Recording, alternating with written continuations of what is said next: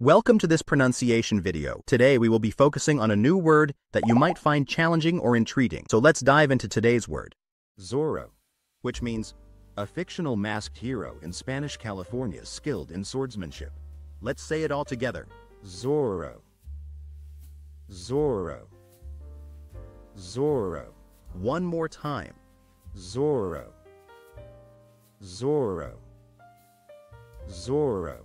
Thank you for joining us on this adventure in pronunciation. Remember, language is a journey, not a destination. Keep exploring, experimenting, and expanding your linguistic horizons. We'll see you next time.